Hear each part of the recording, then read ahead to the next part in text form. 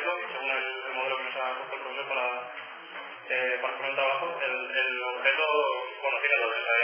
Eh, uno, crear una base de datos en español sobre el rock progresivo, porque no hay ninguna, hay bastantes en inglés muy bien documentadas, pero, eh, pero en español no, he encontrado nada sobre el tema, y más habiendo grupos españoles sobre rock progresivo de bastante calidad.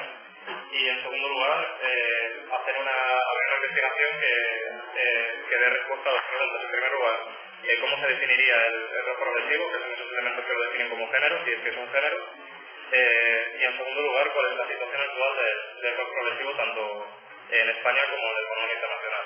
Para los que no el rock progresivo es una, rama del rock eh, que se, caracteriza por, ser un poco más complejo, tener influencias de, estructurales del jazz, de la música clásica y, y, y, digamos ser un poco más experimental, tener tendencias más avanzadas. Seguido, pues nada, principalmente eh, ha sido investigación, eh, tanto de fuentes directas como fuentes indirectas. Fuentes directas han sido pues, eh, miembros de grupos de reconocido español como Eduardo García, el secretario de es un grupo asturiano, el escritor Carlos Romeo, que es un escritor sobre, sobre especializado en, en, King Crimson, que es un grupo que a lo mejor conoceréis de, de rock progresivo, de los años 60-70.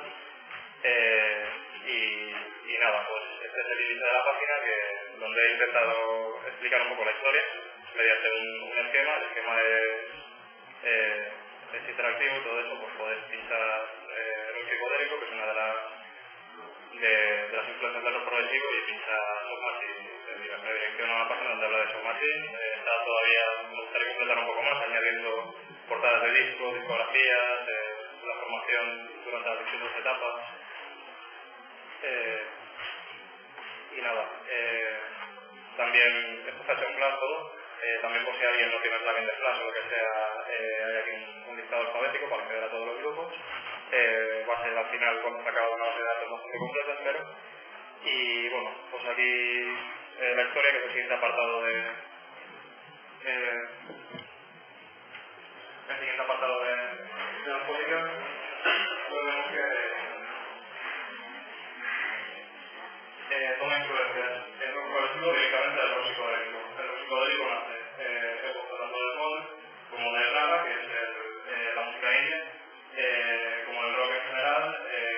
que digamos es el, el, rock un poco más sucio, más underground, y avant que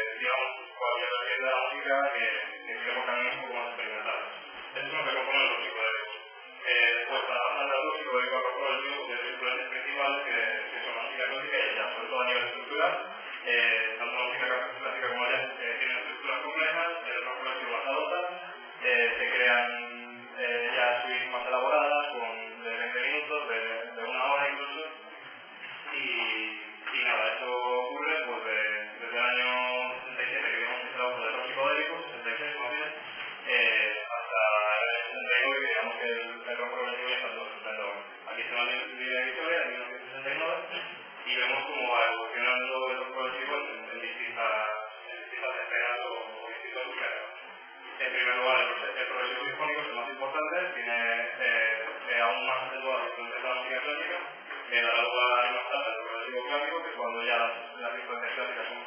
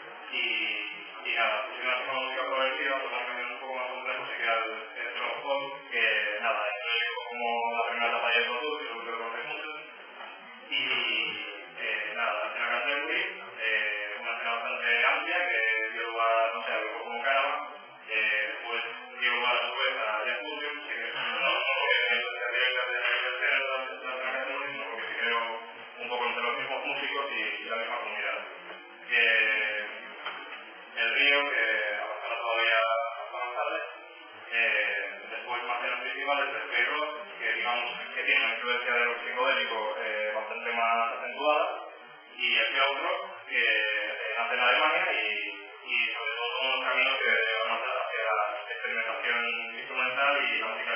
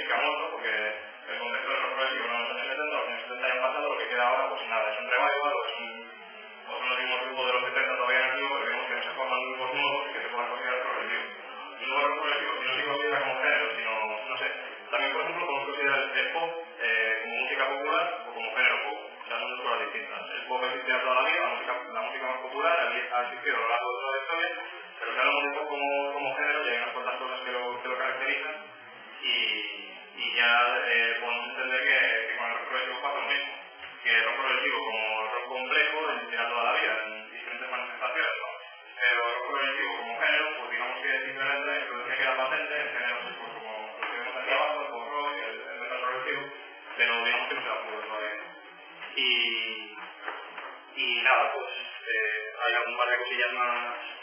Eh, ¿Me queda mucho tiempo o, o lo dejo ya? No, no, eso es la página, la página web. O sea, eso es una, pues, por ejemplo, en investigación, hace poco hubo un concierto de Roger Waters, que es un componente de Pixel, es compositor de, de casi todas sus etapas, y, y yo estuve allí y, por ejemplo, entrevisté a, a la gente que había en el público para ver qué opinaba de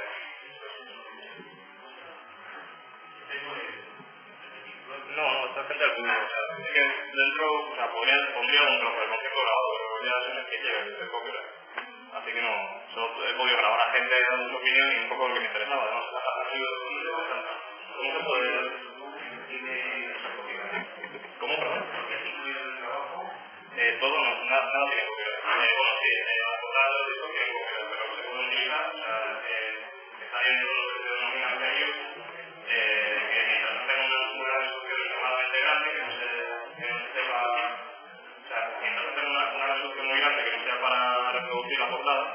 puedes poner siempre que estés hablando del, del disco. O sea, eso en la legitimidad, pero luego, por ejemplo, me daría otros problemas como que no podría dar una, una licencia de copyright, de a mi página, porque incluiría material con copyright, ¿no? Por eso en la Wikipedia no hay, no hay portadas de discos, porque tiene una licencia de GNU y es una licencia copyright y se incluye en portadas de discos otro material con copyright, pues no puede, no puede tener la licencia.